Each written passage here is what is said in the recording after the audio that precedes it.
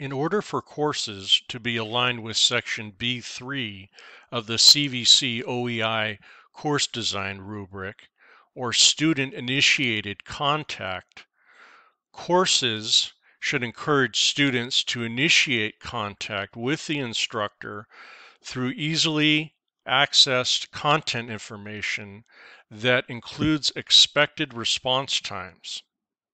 What's often missing is the expected response time, so please include those.